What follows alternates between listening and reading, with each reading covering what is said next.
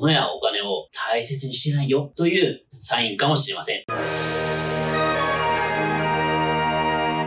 運が覚醒する金運上昇チャンネルの高木です。金運上昇チャンネルの LINE アットができました。金運が上がる6つの特典をプレゼントしています。詳しくは概要欄からチェックしてみてくださいね。皆さん、金運が上がっているお金が集まってくる方と金運が下がっていてお金が逃げている方には実はお買い物の時の習慣に違いがあるんです。金運が上がっているお金が集まってくる人のお買い物の習慣ってちょっと気になりませんか？スポーツでも最初は何度も基礎を覚えるところからから始まり、成長していきますし、うまくいってる人のいいところを真似するって成功の近道でとっても大切ですよね。ということで、今回は金運が上がっているお金が集まってくる人のお買い物の習慣と、金運が下がっているお金が逃げていく人のお買い物の習慣を紹介していきたいと思います。もし、金運が下がっている人の習慣と同じ行動をしていても、全く落ち込む必要はありませんので、そちらは安心してくださいね。間違い探しの間違いを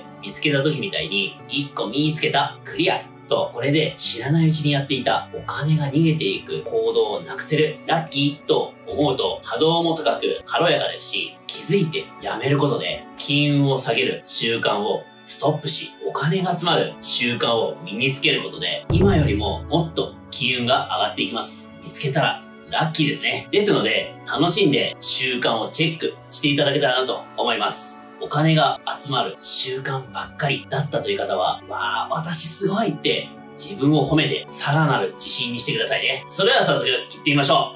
う。まず、お買い物の目的の部分です。気運が上がっている人は欲しいものが明確。気運が下がっている人は目移りする。気運が上がっている人は欲しいものが自分の中で明確だったりします。お金持ちはケチだと思われがちですが、実はそうではなくて、自分の中で欲しいものがしっかりされていて、自分が何が欲しいのか、どんな色で、どんな形で、どこのブランドか、かなり具体的です。だから、それ以外のお買い物に対しては、お財布の紐が硬いので、お金持ちはケチと思われがちかもしれませんね。もちろん、似たものや偽物にも見向きもせず、本当に欲しいものだけ購入します。ですので、お金を無駄にすることもなく、目移りやお買い物に迷うこともないです。金運が下がっている人は、その逆で自分自身が何が欲しいのか分かっていなかったり、具体的に把握していなかったりします。ちょっといいなと思うと、すぐに買ってしまう。浪費を重ねてしまうことが多いんです。また、自分の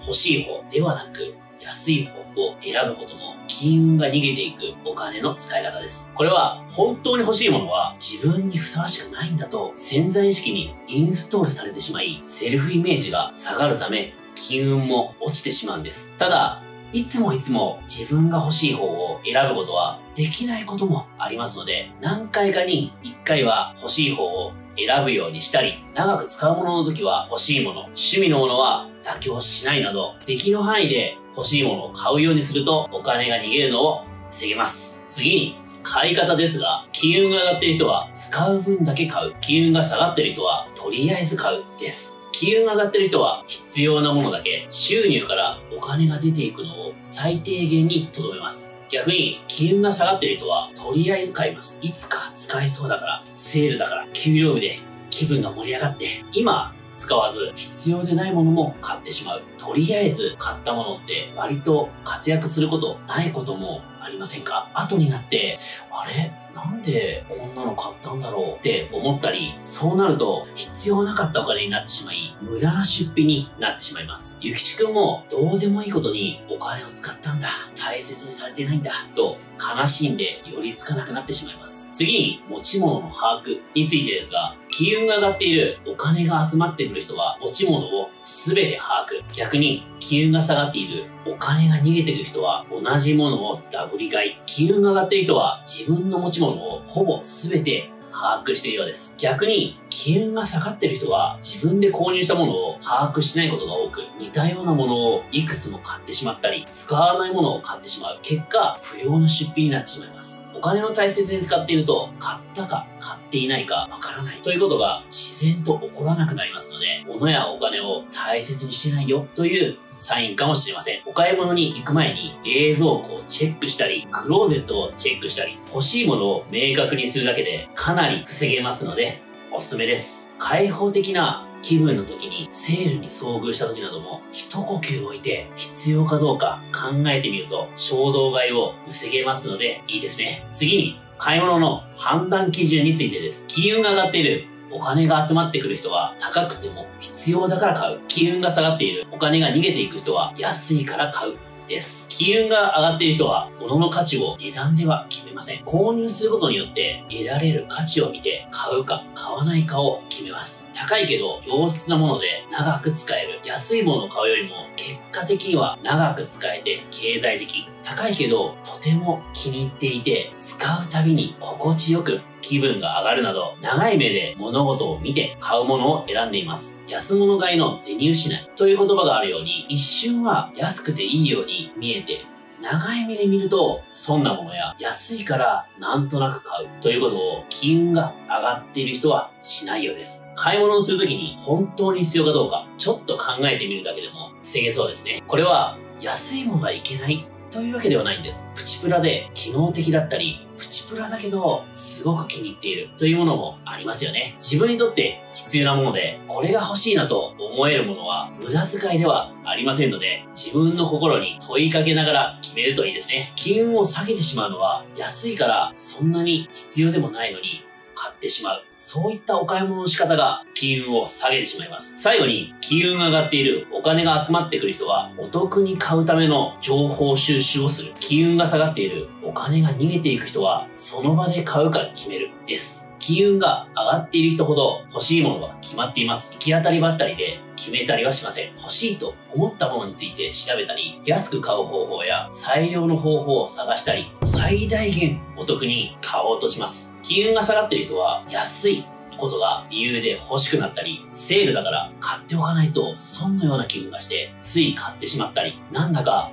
お買い物したい気分になって使ってしまったり、買う目的よりも損した気持ちになることを優先したりしてしまいます。大切なゆきちくんと引き換えに来てくれるものも大切なもの。買うものを吟味することは自分を大切にすることであり、ゆきちくんも大切にすることです。そして自分とゆきちくんを大切にしてやってきたものは、とても愛おしい大切な仲間です。そう思うと、無駄遣いって自然とできなくなっていきますね。いかがだったでしょうか？あなたは金運が上がっている、お金が集まってくる人、金運が下がっている、お金が逃げていく人、どちらに当てはまりましたか？もし、金運が下がっている、お金が逃げていく人に当てはまっていたら、大切な私が必要としているもの、それって何だろうな、と考えて買い物をすると、心の豊かさと金運のどちらもやってくるようになりますよ。最後に、めちゃくちゃ稼いでいて、お金は持っているけど、金運が下がっている人の習慣に当てはまっている経営者さんについてお話ししますね。その方は億万長者で、僕が出会った時からすでにずっと年収1億円以上の経営者さんでした。金運が上がってる感じがしますよね。出会ってからも毎年毎年スケールが大きくなり、稼ぐ金額も何倍にもなっていったんです。その方は豪快という言葉を絵に描いたような経営者さんでしたが、今回金運が下がっている人の習慣で挙げた、とりあえず買う、目移りする、同じものをダブり買いす。る、安いから買う、その場で買うか決める、衝動的に買う、すべて当てはまってました。それでも、ものすごく稼いでいて、事業も順調、なんだか矛盾しています。経営者なので、時にはその場で決断することもありますが、お買い物に関しては、その場でとりあえず購入して、似たようなものをたくさん持っていて、何を買ったかも覚えていない。どこに直しているかも覚えていない。その辺に買ったものは置きっぱなしで見向きもしない。買ったものが届く頃には他のものに目移りして覚えていない。そういう状況でした。ところがある時何億というお金がなくなってしまいました。一気になくなったというよりは徐々にお金がなくなっていった。という感じだったんですが、突然トラブルが立て続けに起こり、あっちから何億、こっちから何億と、あれよあれよと減っていき、結果、ビジネスも低迷してしまって、お金さんにも嫌われてしまったようです。やはり、お金に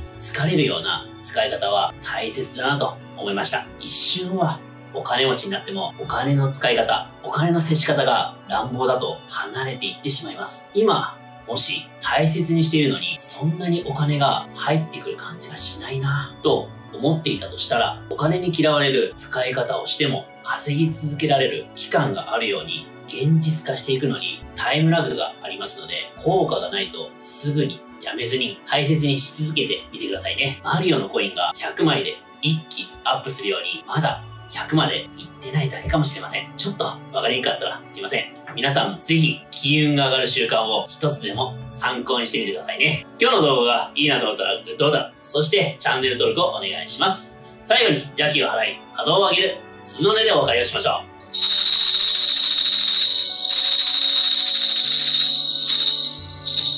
それでは明日の動画でお会いしましょう